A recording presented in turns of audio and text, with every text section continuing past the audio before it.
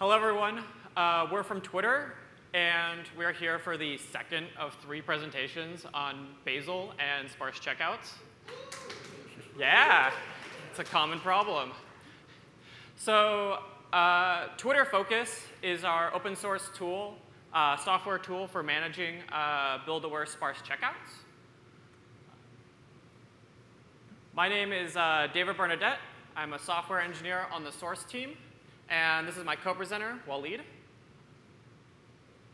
Uh, Waleed is on the build team uh, at Twitter and is our senior software engineer and really like uh, brought this whole project together.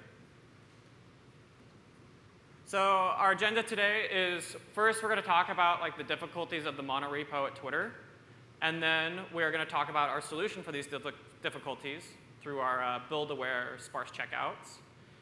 Uh, and then Waleed will talk about our different uh, Bazel, Bazel caching strategies. Uh, and then finally, uh, talk about adopting Focus for other teams using uh, Bazel and monorepos. So let's begin with our monorepo difficulties. At Twitter, we have a very large monorepo, again, around like half a million files. It seems to be kind of common between these companies. And we have a working tree size of 6.4 gigabytes.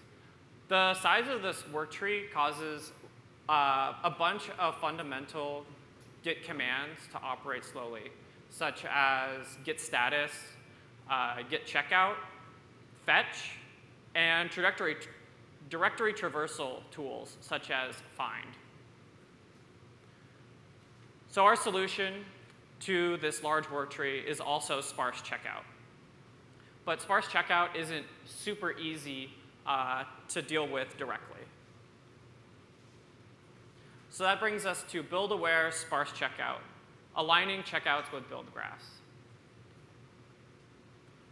The fundamental problem with sparse checkouts is that when you're trying to build, uh, build a particular target with a handmade sparse checkout, it's really, really common that you run into like file not found errors. In an ideal world, we would have a sparse checkout that is aligned uh, exactly with our build graph so that when you do run Bazel build, uh, you always build a successful package and avoid any like missing files. So how do we get to this aligned sparse checkout? The answer is, in the Bazel world, the answer is Bazel query. Bazel query can give us, can calculate this sparse checkout for us, it just needs an outlining tree. And we consider an outlining tree to be this minimal sparse checkout with only the files needed by Bazel query. Uh, concretely, this is mainly build files and .bzl files. We've seen great impact from sparse checkout. Uh, we've seen status latency go down to three seconds. Originally, it was around like 32. Uh, a typical user will see that their working tree size is about 18%, and the ch typical checkout time has decreased from about 40 seconds to 8. Unfortunately, it isn't just one big win. We find that Bazel query is extremely slow, and ideally, users run Bazel query on every checkout to align with the build graph. Five minutes to just do a checkout uh, makes the tool like kind of unusable. So now Waleed will talk about our solution to this problem, uh, including caching Bazel. Thanks, David. So caching Bazel query, like David was saying, uh, we need to cache this because five minutes to check out is pretty much unusable. I'm going to be discussing two methods today that we use to cache Bazel query. The first is a coarse-grained cache, and the second is a more fine-grained cache. So normally, when you want to build a sparse checkout profile, you have a set of targets that you want to build. Um, and then you query Bazel to see what the dependencies are for these targets, which requires you to have you know, your working tree ready to service Bazel queries. Uh, with these two things, you can create a sparse checkout profile, which Git will accept and use to create your sparse checkout. So this is exactly the function we want to cache. um, a set of targets along with the state of the working directory. So that's a commit hash, for example. And we want to, you know, the value of this cache is the sparse checkout profile. So yeah, the key here is the targets and the commit hash and the values of sparse checkout profile. The advantage of this is that it's pretty simple to implement. Um, you only need to do one lookup in your cache to find the necessary data, so that's extremely fast. Uh, but the disadvantage is that even a small change to your working tree can cause a cache miss. So if I make a change to a single source file, then you know, your, entire cache, your entire cache key will change and you won't be able to access the cache and get your sparse checkout. So this approach is much better when you have a set of commits that are well known um, and a set of targets that you knew ahead of time that you can build these caches for. Um, so for example, if you are pushing commits to your main branch, those are a good candidate for caches, for commits to build caches for. Uh, and the second approach that I'll cover is a fine-grained approach. So instead of caching the sparse checkout profile for the entire commit or the entire working tree state, we instead cache data on the granularity of a single target at a time. So pretend I have this target called edit tweet, uh, implements the tweet edit button, and it has some dependencies. So for example, a dependency on the button target, on the tweet target, and then maybe there's a non-Bazel dependency that's just a bunch of boilerplate files. So in order to analyze this and produce a fine-grained cache, we look at the build file that's associated with the edit tweet target. And this build file declares the dependencies for this target, and also it declares, um, it loads some BZL files which contain definitions which are used to determine the dependencies. And we access this through a parse function which takes uh, the build file and it traverses the BZL kind of dependency tree to get all the loaded files. And from this, it produces a cache key uh, by combining all of this data into a single hash. And after we have this cache key, we can then just query Bazel uh, with a function like called Bazel analysis that just takes a target and returns the actual dependencies for that target. And this together is enough to make our cache. The parse, the result of the parse function is critically, it doesn't require you to actually evaluate a Bazel query. You can calculate this just using textual content uh, from the build files and BZL files. And this forms the cache key. The cache value is the actual dependencies that we got from Bazel.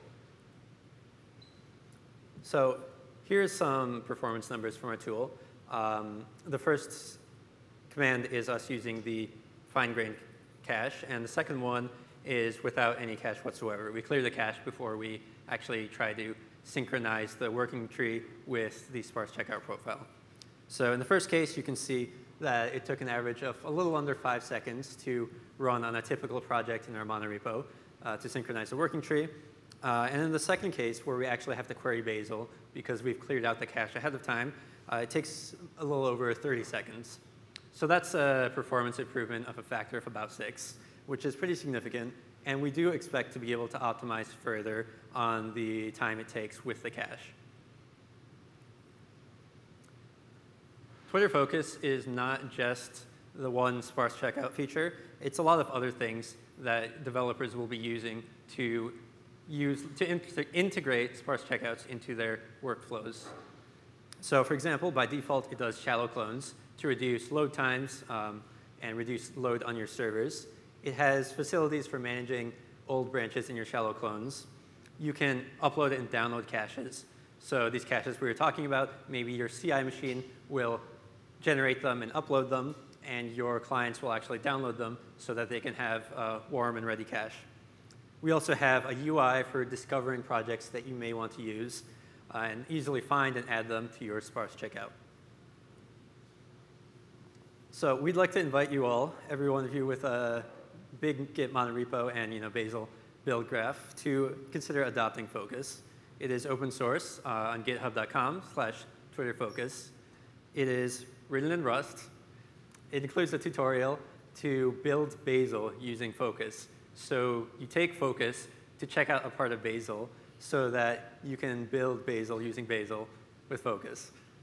Um, it's also extensible to other build systems, so not just Bazel. If you have a different one, you can add support for that. And I'd like to extend an amazing thanks to all the people on our team who helped us get Focus to where it is today over the last year. Um, yeah, so thank you all. They're not all here, but they did a lot of work to get us to this state. And thank you all as well for coming to listen to our talk, and we hope that you'll consider using Focus. Cool.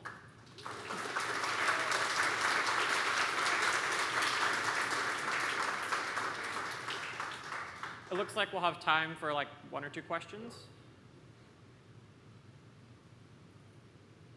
Yeah. Uh, this may be a little off topic, but could you speak to the advantages of using a monorepo? Yeah, um, so monorepos, you have all your dependencies in one repository. Um, some examples of things you can do are code-base-wide refactorings, which are a lot harder to orchestrate across a lot of different smaller repositories. Um, ideally, you would have just one version of every dependency um, that just simplifies, you know, deployments and builds. That might not always be possible. At Twitter, we have multiple versions of various dependencies in our monorepo. Um, and generally speaking, it kind of shifts a lot of the tooling pain that you would have from dealing with many different repos, centralizes it to where a single like team for source control can start to address those problems for everyone, rather than everyone having to use some other tools to deal with it. And I think most companies also find that they have more than just one repo. There's always like little edge cases where people want to like mirror an external repo um, or maintain a fork or maintain some open source project. Like this, you will not get access to our monorepo if you want to use this tool. So it's uh, separate on GitHub. Yeah. Great conversation, thank you. I'm wondering how approachable Focus is for newer developers. Um, looks like something I'd love to jump into, but I'm a developer of two months, so I'm a little bit scared of So the question is, how approachable is Focus to new developers? Uh, you've been a developer for a little over two months, is that right? And you work with a monorepo at your company? Yes. Okay. Um, so we're certainly hoping it will be approachable. Uh, the documentation is in early stages, but we do have a tutorial, and you're absolutely welcome to post on the discussion board on GitHub, and we will try to you know, work with you to, uh, for one thing, get you where you need to be with Focus, and another, improve the documentation to a point where everyone can successfully use it on their monorepos. So we're very happy to work with you on that. I'd say if you have uh, like a fairly passing familiarity with, with Bazel and uh, to start, and with uh, sparse checkouts, Git, you'll be in a pretty good shape. Um, and then if you wanted to extend uh, it to like some particular build system, uh, then it's going to require just a little bit more like Rust knowledge. But again, we'd be happy to help with whatever you're trying to, to extend it to. Yeah. Thank you. I think that's, we can probably do one more question quickly. Yeah, and there in the back.